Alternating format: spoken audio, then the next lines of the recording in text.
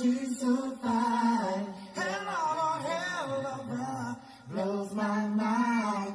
Hell of hell of lights my day. What's good, guys? Today is Wednesday, December the 22nd, 2021. This story came out on December the 20th, and also it may sound familiar to you because it came out in a Dr. Phil episode. I think it was December the 6th. I may be off a day or so on that. It's coming out of Virginia, and I want to thank Marie722 for sending it to me. Woman trying to free brother from prison calls him a hero for murdering her abusive dad. On paper, Christopher Bennett sure sounds like a textbook bad guy. Nearly 20 years ago, at the age of 18, the Virginia man walked into his stepfather's home, aimed a gun at his head, and pulled the trigger. He was ultimately convicted of murder and sentenced to an astonishing 1,800 years in prison for the crime. But according to his family, Christopher isn't a stone cold killer. Instead, he's a hero. In fact, his mother and two half sisters recently appeared on an episode of Dr. Phil to proclaim his innocence but the most moving interview was with Bennett's half sister, Cassandra Cassie McDorman, who said the only reason he killed their father in the first place was to protect Cassie and her sister from ongoing abuse.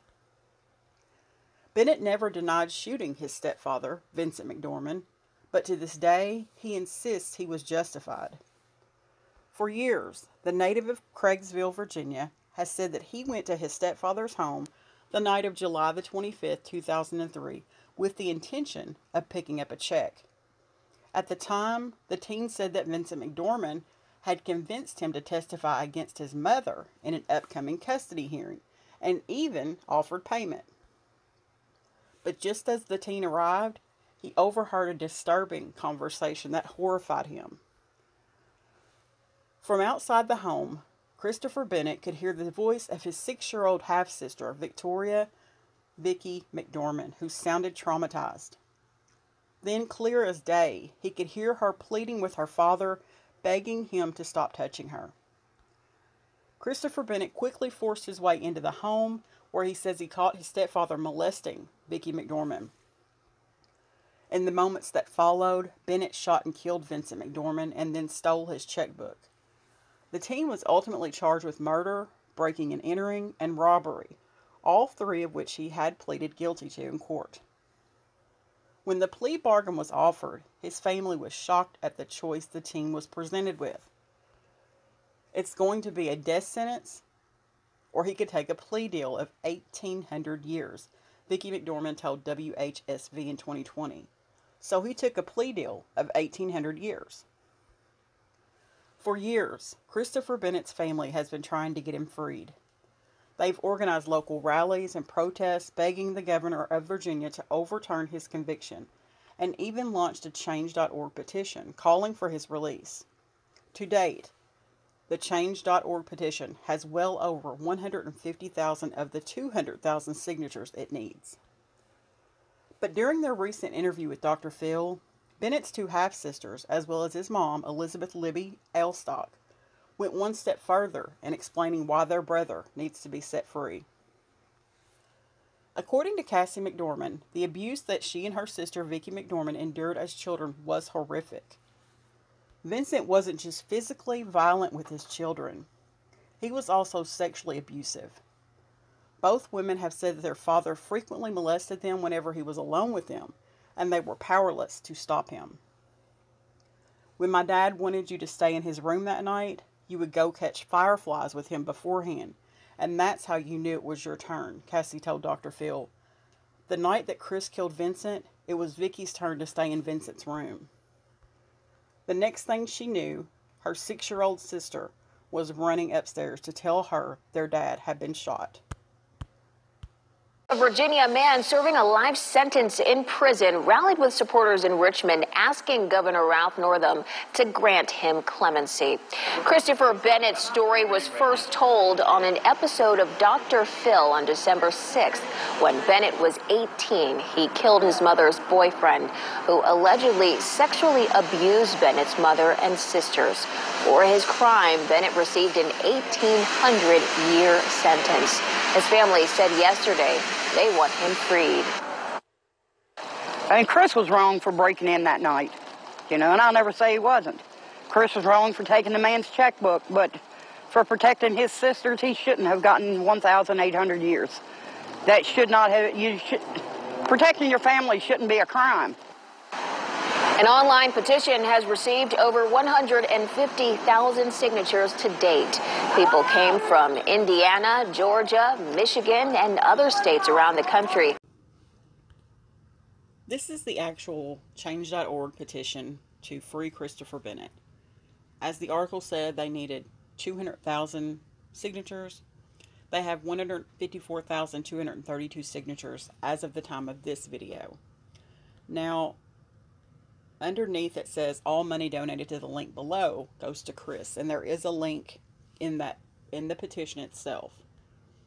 It says in July of 2003 Christopher Bennett broke into Vincent D. McDorman's house with the intent to get a check Vince had promised to give him if he lied in court against his mother so she wouldn't get custody of the girls living in Vince's care.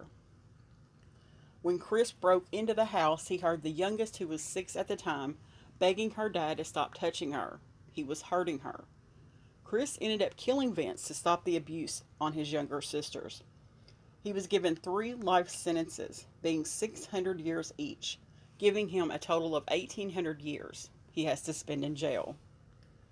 CPS refuses to remove the girls from the home where they were physically and sexually and emotionally abused by their father. If Chris had not broken that night and heard his little sister's cries for help, it would have gone unnoticed and they would have had to endure more years of abuse. Please sign and share to bring this hero home. And then below you can sign and uh, you can share. You can also donate money if that's what you choose to do. Now, they've also been having rallies to free Christopher Bennett. And there was one particular speaker um, that just really it needs to be shared what she said because it's of great importance. So I'm going to go ahead and play the video of her speaking at this rally now. To meet Chris a year ago, exactly one year ago this month. And when I heard his story on my podcast, me and the host, we couldn't speak. and tears were pouring down my eyes. Um, on the way here, I was reaching out to another group of people I advocate for in a rural town in South Carolina and I told them, I remember last year our country was torn apart with the Black Lives Matter movement, and we were arguing on whether Black Lives Matter and All Lives Matter. And I told them the best All Lives Matter movement needs to begin in the courtroom. Because when it comes to our justice system, if you come from a low income family, there is no privilege. If you don't have the knowledge that you need in the courtroom, there is no privilege. And if you don't have the money to pay these attorneys to really work for you, there is no privilege, no matter who you are. When I watched the Dr. Phil show, I heard Janet mention several things on his case that could have been done to fight for him. And those of us in the criminal justice field, whether we're advocates or attorneys, we can name even more. Janet and I, when we first met, we were on the phone for almost two hours talking about every little thing that they could have done to help Chris with this case. But because Libby doesn't make that type of money to get that kind of attorney, they were stuck with a public defender. And we all know that public defenders are just going to either make you sign a plea, and if you even attempt to fight for your life, they're going to throw the book at you. Chris being an 18 year old boy going into the system, I wish that one of these pictures had that boy on it because that's who entered the system. This is who we're trying to bring out. Um, we talk about the criminal justice system. I think the state of Virginia is more concerned about the life that was lost as far as Vincent. But I don't think he understands that not just Vincent's life was lost, but Vincent had also taken lives. He completely altered the way the girls live and as well as Chris. The things that they had to endure being babies, being molested, They talked about the things that had made them feel then as well as now well into their adult lives. And I apologize to you all if I say too much. I'm not trying to break anybody down. I just want the governor to really understand when he makes this decision. When a person gets molested as a young age, it's a lot.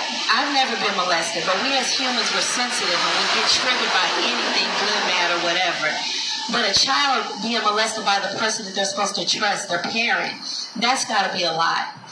Um, I listened to one of the sisters, I think it was Vicky, say that every time she like she can't lay in a bed with any of her partners. When the rest of us we can't wait to cuddle, but for her it's like I just want to get this over with and get away because she's triggered by her memories that happened when she was six years old. This is something that's forever gonna hurt her. Sometimes therapy helps it, but it doesn't really take away everything. So no one ever addressed what their life was like. And I wonder if Virginia even thought about them when they gave this ridiculous sentence out. When you sentence somebody that stops them from being molested to 1800 years, the message you're giving them is that their life didn't mean nothing. Only this man that molested them. You're basically telling Kristen he should have just allowed it to continue and went on about his business. What would any of us have done? I think I look at my children. If anything happens to them from adult to, ch- to childhood, I think I would be just like Chris. I think I would snap and I would probably sit in somebody's prison as well. I don't think they're being fair. What would you expect an 18 year old boy to do? The young pictures I've seen of Chris, he was very slim and he wasn't big enough to handle a grown man of that size. So what else did they expect him to do?